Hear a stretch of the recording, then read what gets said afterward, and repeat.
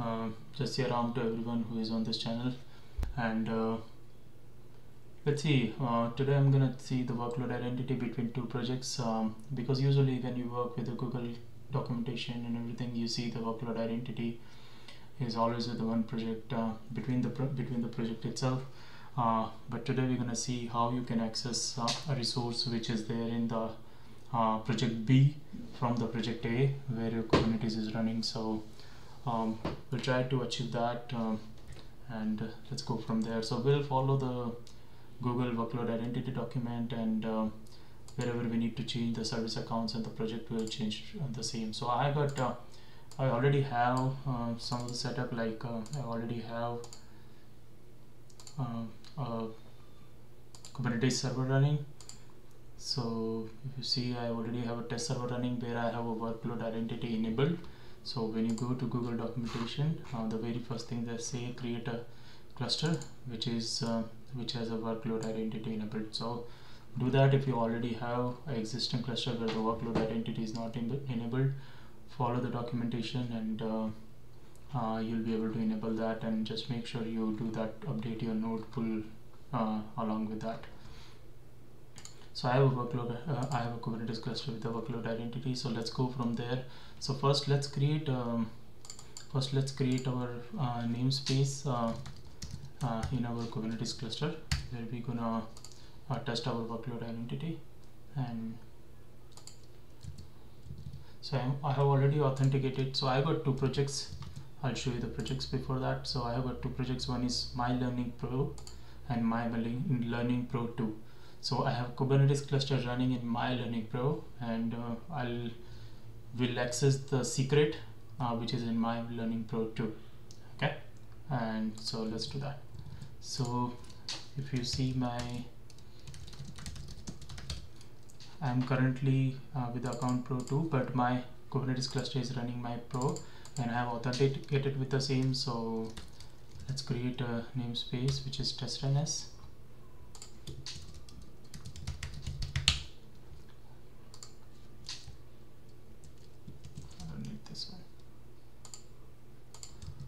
now what is the other thing that says um, let's create a service account uh, which is test test KSA which is a Kubernetes service account under test NS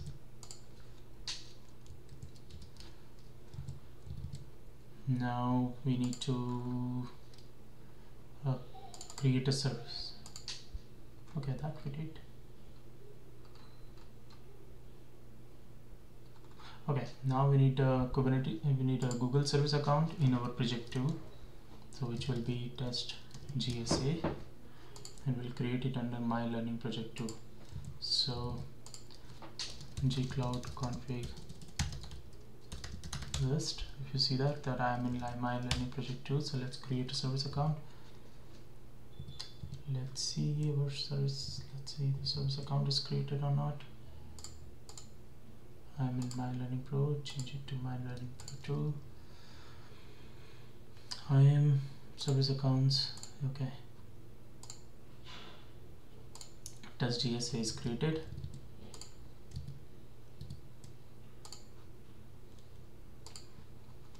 Next. Now we need to add some bindings so we are going to create some secret and we are going to access those secret using our um, using our service account so we need to give a service account the access so it can access those secret. So first uh, let's uh, so we have to give the access uh, access accessor. So I'll just do the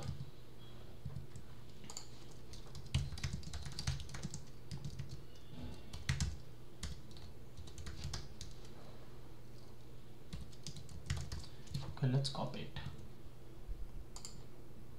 uh, this should be 2 we are doing it in then we have a test GSA and the role name would be uh, test secret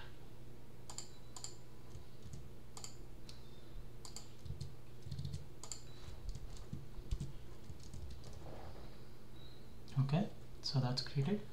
Okay so my our GSA service account has access to um, has permission to access the secret.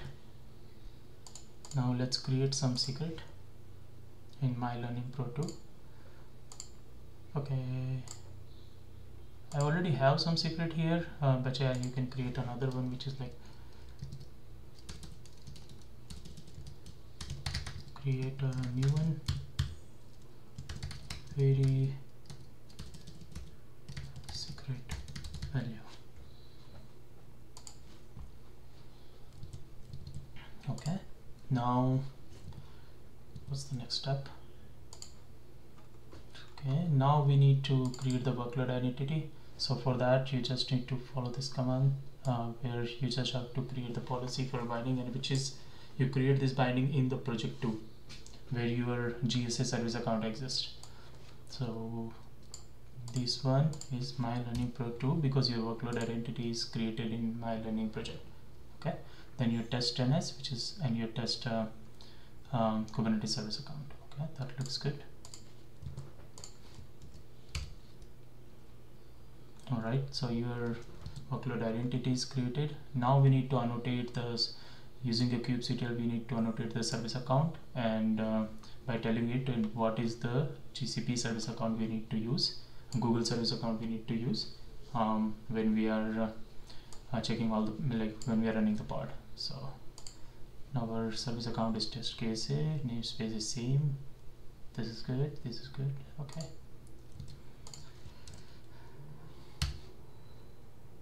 Okay so your service account is annotated okay that's good to go. Now I just gave a permission to access the secret. I didn't give any role uh, so there will be a failure um, because we didn't give any viewer role. So that this particular service account has to see the project time from project metadata so project information. So we'll have to give another role. But before I do that I would like to run the project and will would like to show you I would like to run a pod in the our Kubernetes cluster and would like to show you what is the error it's going to be. So we have a test pod so that test pod uh, I'm gonna do the config list to show you that uh, we are using the GSA service account we mentioned because we are using a workload identity. And the project we're gonna set before that the project will be my learning pro and after we set it it's gonna change to my learning pro 2 and then we're gonna list it try to list it um, in our test NS okay. I'm gonna change uh, namespace to test NS and uh, I'm gonna change our service account to test KSA which we created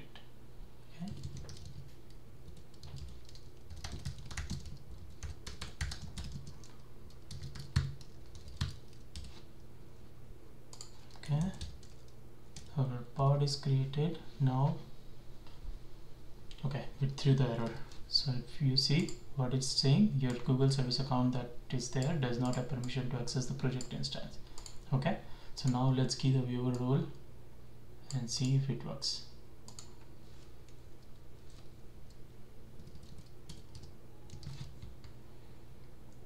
so I'm gonna run the same command that we ran before when we gave role with roles as a viewer.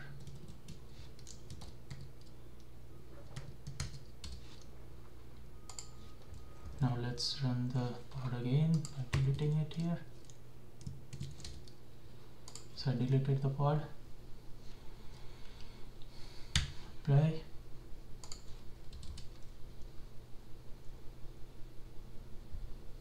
and here you go. Congratulations. You are able to access the secret which is in the project B. And you are running uh, your Kubernetes cluster in project A and using a workload identity without sharing your um, without sharing your JSON JSON key for your secret account service account you are able to access the access all the secrets which is in the project B from a project A where your Kubernetes cluster is running. So um, yeah that is what I wanted to show and uh, this is what we wanted to achieve. So I mean like you if you have any of this scenario where you wanted to um, access the resource in project B and your Kubernetes cluster is running in project A I mean like this is where it will help you out. Um, I'm uh, also going to create some document around it uh, maybe uh, so I'll share the document uh, um, in the in the description um, along with my github repo so that's where you can look at all the information and copy the same uh, in case you need it so thank you very much and this is where I'll say धन्यवाद